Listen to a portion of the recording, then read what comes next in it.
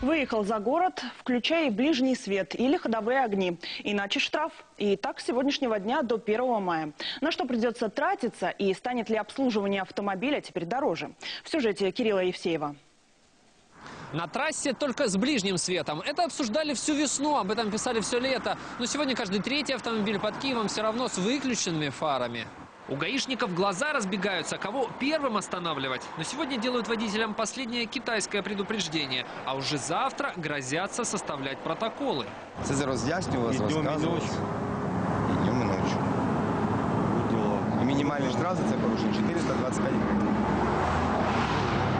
А некоторые женщины, вроде этой, о новых правилах слышали, но не знают, где включается ближний свет и чем он отличается от габаритов. вот же горит. Габарит включив. А як ви керуєте транспортним засобом? Я всегда думала на это. А як ніч буде, як ви будете їхати? Ближнє світло, будь ласка, увімкніть. Большинство водителей положительно относятся к нововведению, но есть и те, кому лампочек жалко. Туристика это все. Электрики подтверждают, лампочки придется менять чаще, да и расход немного изменится. Будет идти нагрузка на такой агрегат, как- который называется у нас генератор. Он стоит на приводе двигателя и, естественно, если на него есть нагрузка, есть нагрузка на двигатель. Если есть у нас нагрузка на двигатель, у нас есть повышенный расход.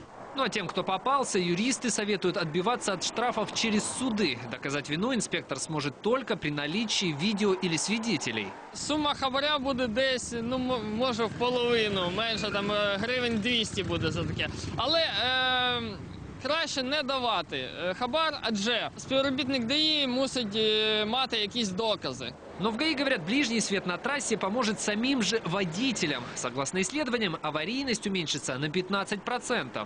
Якщо ми хоча б на 15% і збережемо 15% людських життів і здоров'я, це буде дуже добре. Якщо взяти європейський, е, е, скажімо, е, рівень штрафів і порівняти з нами, то в принципі це штрафи не дуже великі. Начальник как-то забыл о разнице между украинскими и европейскими зарплатами. Она достаточно существенна, как и разница между зарплатой и достатком самих инспекторов. И это уже давно не анекдот. Кирилл Евсеев, Владимир Самченко, подробности телеканал Интер.